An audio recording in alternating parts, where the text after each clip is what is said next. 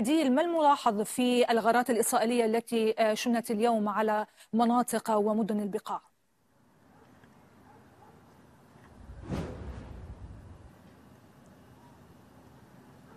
ريما تستمر الغارات الإسرائيلية على مختلف البلدات في البقاع. نتحدث عن المناطق الحدودية في البقاع الغربي. الحدودية مع الأراضي السورية آخر تلك الغارات التي استهدفت بلدة القصر الواقعة على الحدود اللبنانية السورية. أيضا الغارة التي استهدفت بلدتي كل من الحدث وبلدة رسم الحدث وحربتة الواقعة على الطريق الدولي. الرابط بين البقاع ومدينة حمص السورية.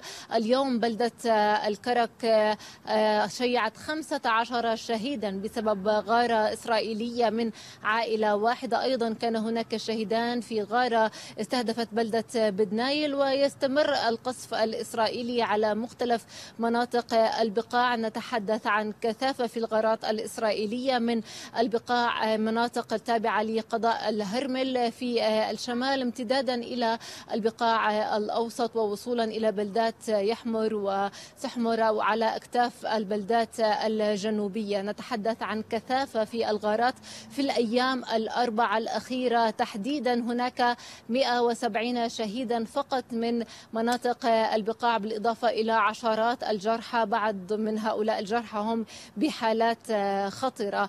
المقاتلات الإسرائيلية أيضا تستهدف المعابر التي يأوي إليها أو يفر من خلالها النازحون إلى الأراضي السورية. كان هناك تجمع كبير من النازحين عند معبر المصنع وهو واحد من معبرين فقط. يمكن اعتبارهما كمعبر معبرين شرعيين رسميين يربطان لبنان بالأراضي السورية. توجه العديد من النازحين إلى معبر المصنع ويستمر تستمر أيضا المقاتلات المقاتلات الإسرائيلية باستهداف الطريق الدولي الرئيسي الرابط بين مختلف مناطق البقاع امتدادا من الشمال حتى الجنوب.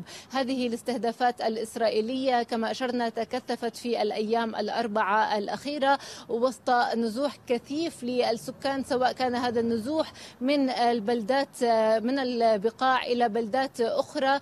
يظنون أنها قد تكون بعيدة عن المقاتلات الإسرائيلية أو محاولة إلى الفرار خارج الحدود اللبنانية إلى الأراضي السورية. عموما في الساعة الأخيرة رصدنا هدوءا حذرا في البلدات على البقاع من المقاتلات الإسرائيلية لكن نشير إلى أنه هناك عدد من الشهداء مرتفع وتشييع كبير لأعداد الشهداء. تحدثنا عن 15 شهيدا من عائلة واحدة في بلدة كرك في البقاع. ويستمر أيضا المناشدات من أجل المساعدات للنازحين والفرق الطبية المختلفة. شكرا جزيلا لك هديل نماس من شتورة في البقاع.